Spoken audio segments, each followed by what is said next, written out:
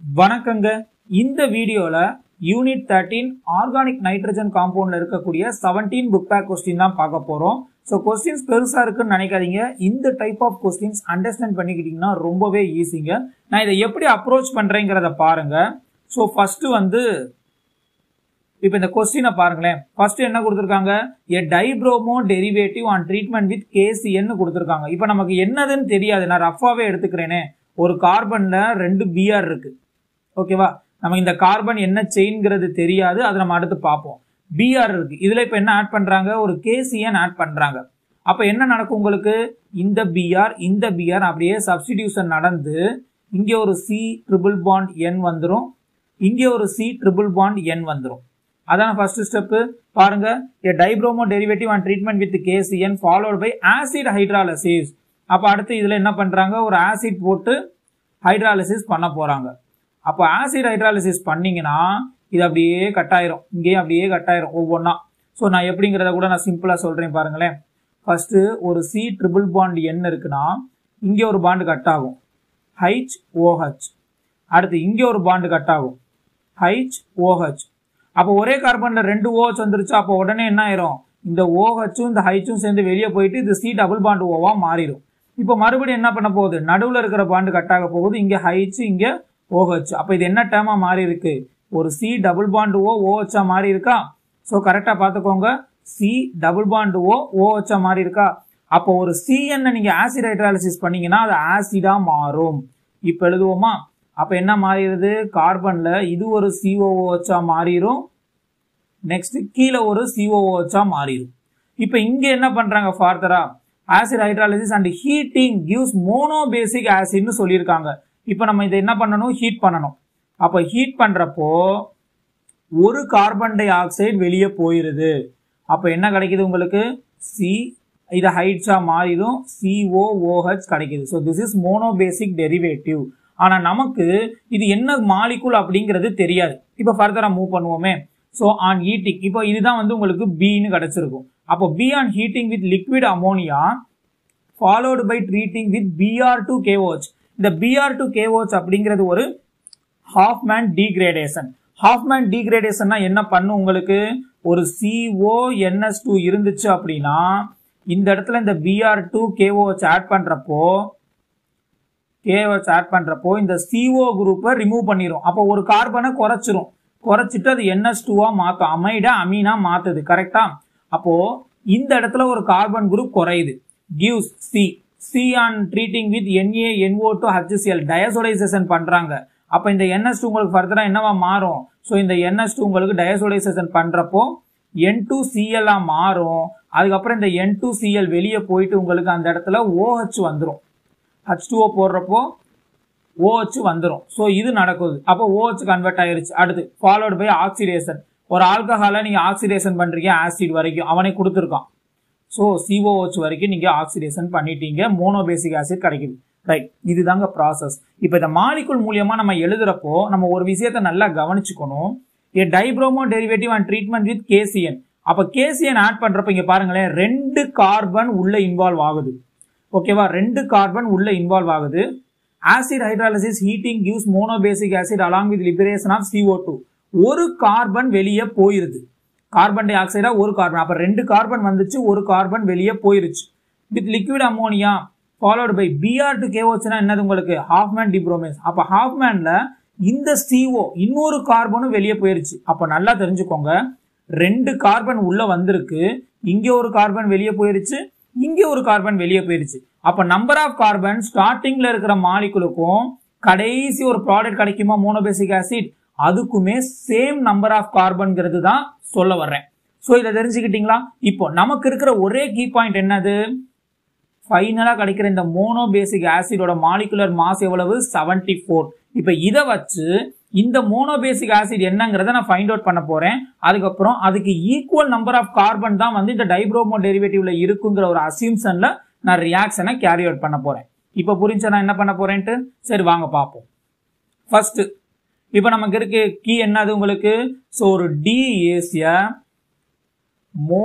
monobasic D is a monobasic acid and இதோட molecular mass எவ்வளவு கொடுத்துருக்காங்க?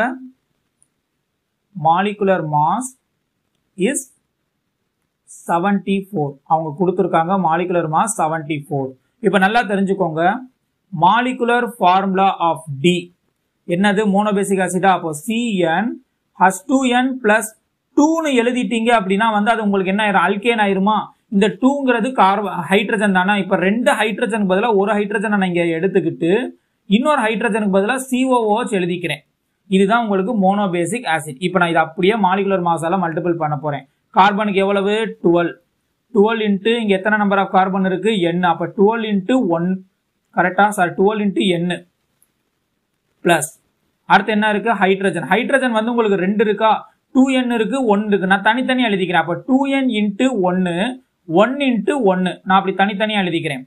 அப்போ டூ என் இன்ட்டு ஒன்று பிளஸ் ஒன் இன்ட்டு ஒன்று அடுத்து ஒரு கார்பன் இருக்கு டுவெல் பிளஸ் ரெண்டு ஆக்சிஜன் இருக்கு. அப்போ டூ இன்டூ சிக்ஸ்டீன் பிளஸ் ஒரு ஹைட்ரஜன் இருக்கு ஒன் அப்போ டோட்டலாக எவ்வளோ வருது? செவன்டி ஃபோர் இதை நம்ம ஃபர்தராக ரெடியூஸ் பண்ணுவோமா? அப்போ twelve n plus two n plus one plus twelve plus thirty two plus one is equal to seventy four அப்போ இந்த டுவெல் எண்ணையும் டூ எண்ணையும் ஆட் பண்ணிட்டீங்கன்னா fourteen n fourteen n plus இந்த one plus twelve plus thirty two plus one எல்லாமே add பண்ணீங்கன்னா என்ன கிடைக்கும் உங்களுக்கு?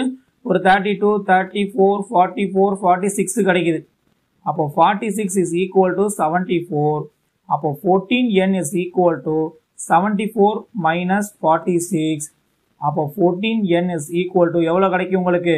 டுவெண்ட்டி எயிட் கிடைக்குது. அப்போ n is equal to twenty eight by two sorry twenty eight by fourteen n is equal to twenty eight by fourteen dare four n is equal to two கிடச்சிருச்சா so என்னோட value வந்து உங்களுக்கு டூன்னு கிடச்சிருச்சு. இப்போ நல்லா பாருங்களேன் நான் டி எழுதுறேன். ஃபோர் டி இஸ் என்னங்கிறது டூன்னு நான் இங்கே சப்ஸ்டியூட் பண்ணவா? அப்போ ரெண்டு கார்பன் வரும் இங்கே ஒரு கார்பன் இருக்குது அப்போ என்ன வந்துடும் உங்களுக்கு?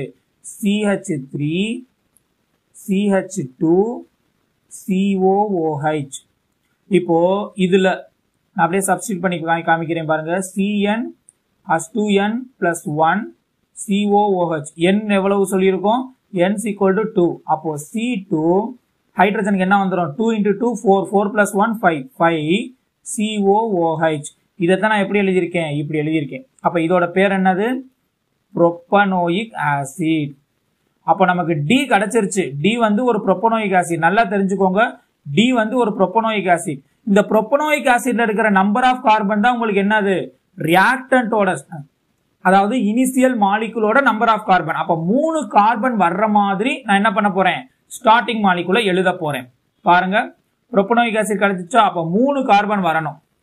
சிஹெச் த்ரீ சிஹெச் டூ இந்த இடத்துல நான் ரெண்டு பிஆர் ஆட் பண்ணிக்க போகிறேன் சிஹெச் பிஆர் ஏன் ஆட் பண்ணிக்க போகிறேன் அவங்களே கொஸ்டின்ல கொடுத்துருக்காங்க. டைப்ரோமோ டெரிவேட்டிவ் அப்போ இதுதான். அப்போ இதுக்கு பேர் என்ன வந்துடும் உங்களுக்கு? One comma one dibromo propane one comma one dibromo propane so this is A இப்போ இதை என்ன பண்ண போகிறாங்க ஒரு கேசியன் ஆட் பண்ண போகிறாங்க ஆர்கானிக் கெமிஸ்ட்ரியில மாலிகுல பேலன்ஸ் பண்ணணுங்கிற அவசியம் இல்லை. அப்ப என்ன நடக்க போகுது உங்களுக்கு? இந்த பிஆர் இந்த கே கூட சேர்ந்து வெளியே போயிடும் அதே மாதிரி இன்னொரு மாலிகுல் இருக்கும். அந்த கே கூட சேர்ந்து இந்த பிஆர் வெளியே போயிடும் சிஎன் போய் அந்த இடத்துல சப்ஸ்டியூட் ஆயிரும். அப்போ CH three CH two CH CN CN இப்போ இதுக்கு பேர் என்ன சொல்லலாம்? பாருங்க நம்பர் கொடுங்க பாருங்க. ஒன் டூ த்ரீ அப்போ one comma one dicyano sorry dicyano propane one comma one dicyano propane so இது கிடச்சிருச்சு. அடுத்து என்ன பண்றாங்க இதுல? ஒரு ஹைட்ராலிசிஸ் பண்றாங்க. அப்போ H three O plus acid hydrolysis பண்றாங்க. அப்போ என்னவா மாறும் உங்களுக்கு? இந்த சிஎன் என்னவா மாறும்? சிஓஓஹெச்சா மாறும். அப்போ இந்த சிஎன் சிஓஓஹெச்சா மாறும். அப்போ என்ன ப்ராடக்ட் கிடைக்கும்? இதெல்லாம் நான் ஸ்டார்டிங்லேயே உங்களுக்கு எக்ஸ்பிளைன் பண்ணியிருக்கேன். அதனால நான் வந்து மறுபடியும் தனித்தனியாக எழுதலை. ஸோ டேரெக்டாக என்னவா கன்வெர்ட் ஆகுங்கிறத நான் உங்களுக்கு சொல்லிட்டேன். அப்போ இது ஒரு சிஓஓஹெச் அண்ட் இது ஒரு சிஓஹெச் இப்போ இதுக்கு நம்பர் கொடுப்போமா? ஒன் டூ த்ரீ அப்போ செகண்ட் பொசிஷனில் ஒரு எத்தில் குரூப் இருக்கா? அப்போ two ethyl two ethyl propane one comma three dioic acid இதான் இதோட பேர். ரைட் அடுத்து என்ன பண்றாங்க இதை? ஹீட் பண்றாங்க. அப்ப ஹீட் பண்றப்போ ஒரு கார்பன் டை ஆக்சைடு வெளியே போகுதுங்கிறது சொல்லிட்டாங்க. அது என்ன கார்பன் டை ஆக்சைடு ரெண்டு சிஓஹெச்ல ஏதாவது ஒரு சிஓஹெச் என்ன ஆயிரும்? வெளியே போயிடும் அதாவது ரெண்டு சிஓஹெச்ல ஒரு சிஓஹெச்ல இருக்கக்கூடிய சிஓ டூ வெளியே போயிடும் அப்ப என்ன கிடைக்குது உங்களுக்கு?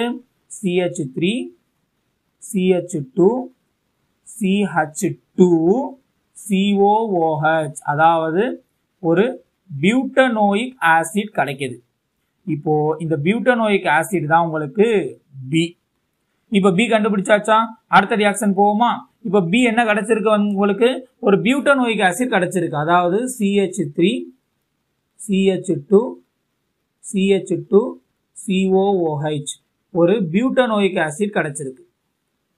Butanoic acid right this is B இப்போ இந்த பியில் என்ன பண்ணுறாங்க உங்களுக்கு? ஒரு லிக்விட் அமோனியா போடணும்.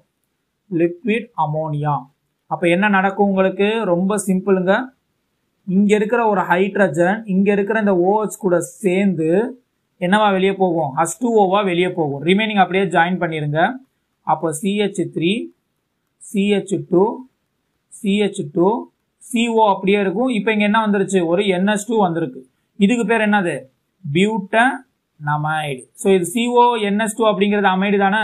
ஸோ பியூட்டோனமைட் இப்போ இதை என்ன பண்ணுறாங்க உங்களுக்கு? ஸோ ஒரு B R two K O H போட்டு ரியாக்ட் பண்ணுறாங்க பிஆர் டூ கேஓஹெச் இது என்ன reaction Hofmann degradation Hofmann's degradation degradation அப்போ ஹாஃப் மேன் டிகிரேடேஷன்னா என்ன பண்ணும்? இந்த சிஓ குரூப் இருக்குல்ல அதை அப்படியே ரிமூவ் பண்ணிடும் ரிமூவ் பண்ணிட்டு ரிமைனிங் அப்படியே ஜாயின் பண்ணிடுங்க அப்போ என்ன ப்ராடக்ட் கிடைக்கும்?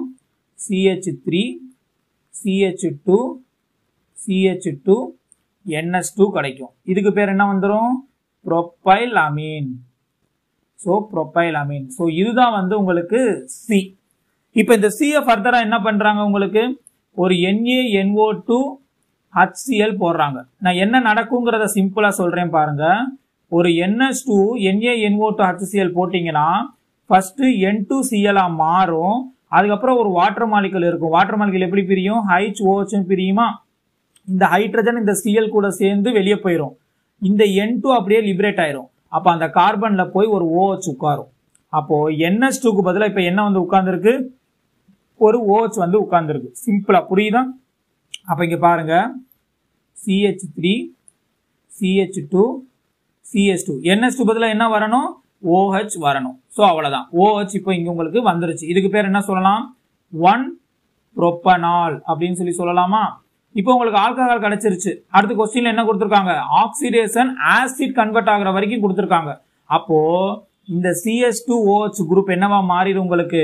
சிஓஓஹெச்சா மாறிடும். அப்போ CH three CH two COOH so this is propanoic acid propanoic acid நம்ம ஸ்டார்டிங்ல வந்து மாலிகுலர் மாசை வச்சு கண்டுபிடிச்சோம்ல அதே ப்ரொப்பனோயிக் ஆசிட் மறுபடியும் உங்களுக்கு கரெக்டாக கிடைச்சிருக்கு.